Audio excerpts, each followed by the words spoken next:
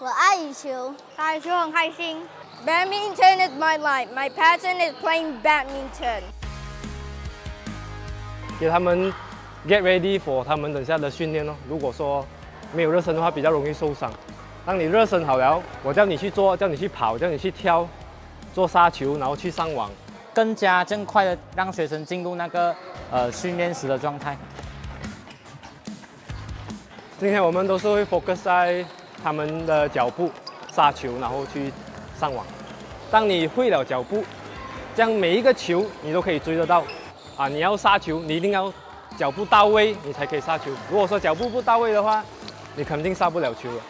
因为我们杀球了，对手回来的防守球一般都是在网前球嘛，我们就是杀球上网，制给对手制造那个威胁。基本的挥拍，然后还有后面的高远球，然后走一些脚步吧。我这个 academy 呢，如果学生来呢，他们的 discipline 是很重要啊。因为如果他们 discipline 有，他们将来去到哪里，他们都是会有这个几率。要有耐心哦，我觉得耐心很重要。啊。小时候的习惯会影响到他们以后怎样打球，所以要从我们小时候的开始就要改哦，要改到他们对，把东西做到最完美啊，每一个动作把它不会的慢慢去调，慢慢去调咯。赢也好，赢球也好，输球也好，练球也好，都要有一个比较谦虚的态度。如果说比较骄傲的话，我们是会慢慢去啊灌输他们，其实这样子是不对的。你在原地，你先跳，跳十次先，跳了十次，你再准准备八个脚，十五次。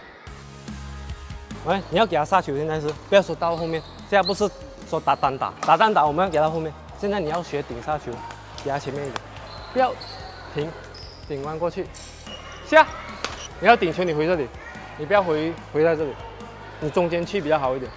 右脚吗？右脚准备去顶，顶然后再杀。你要顶球的时候记得回中间，不然是最难的东西嘛。你打下去我可能都接得到，而你正手一杀下去肯定是死了嘛。当如果我们把我们的学生从一个零基础到他们可以掌握。啊，打球的技巧，这个是我们做教练啊看到的时候是最开心的时候。就是看这学生从可能小小还不会，然后到后面开始慢慢能打到球、碰到球，就会有成就感。我喜欢打羽球，我爱打羽毛球。我的爱好是打羽球。我不喜欢玩 game，我只喜欢打羽毛球。羽球是最好的运动，我喜欢在这里训练。我的梦想是代表国家。I love badminton.